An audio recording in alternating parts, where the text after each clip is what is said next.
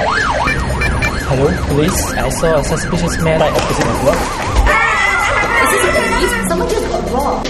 Police? Someone just got hit. No, is this the police? I think I just saw a murder. A splash of paint and a simple writing on the wall. The mark of the loan shark causes distress to many.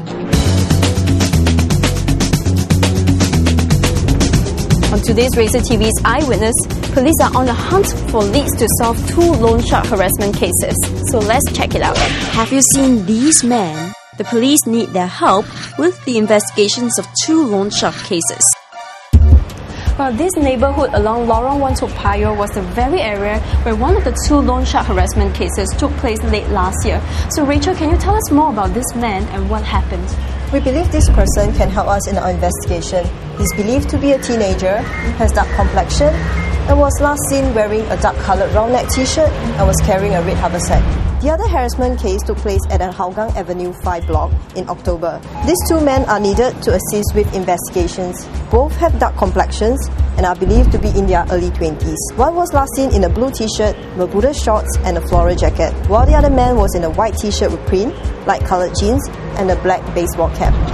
If you have any information on them, please call the police hotline at 1 800 255 0000. Your tip off will be confidential.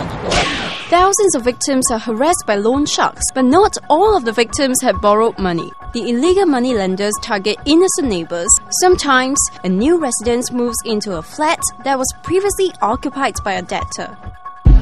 We are outside a unit at Toa Payoh Lorong 7, Block 13. As you can see, the walls and the doors have been vandalized, and black paint was also splashed from the top floor all the way down, staining the outer walls at this block. This is believed to be the work of loan shark runners. 自己会担心吗？就是这一区的安全。半年前有了，他弄我的那个 letter box 啊，他的名字写在墙壁了，我就有那个 glue 在里面。这么多年都没有这样的事情。你会不会觉得很生气？ 因为你不是那个会咯会咯，当然会咯。可是我们自己换咯，没有去报警察。 You feel concerned about your own unit? Very scared lah because I got three children. I scared the along come. The police are working very hard to solve the problem, but as long as people continue to borrow, the problem will persist.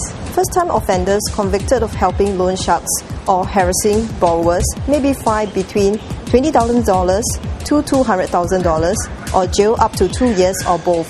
While first time offenders found guilty of harassing or intimidating borrowers may be fined between $4,000 to $40,000 or jail up to three years or both.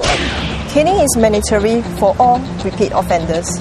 If you do have information on them, do call the hotline 1 800 255 0000. Do your part to help the police and the community bring loan shark to justice.